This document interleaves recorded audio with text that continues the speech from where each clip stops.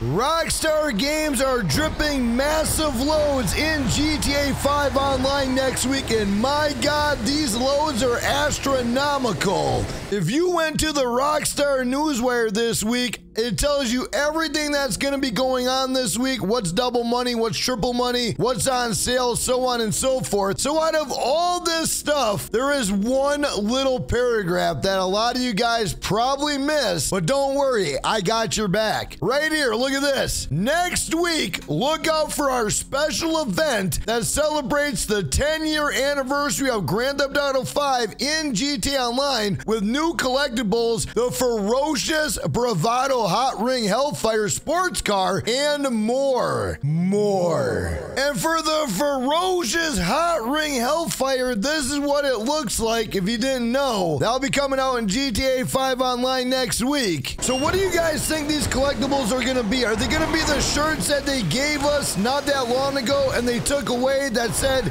GTA anniversary. And if you don't know what I'm talking about, check out this video after this video showing you what those shirts are going to look like. Rockstar did put those in the game and then they took them out of the game.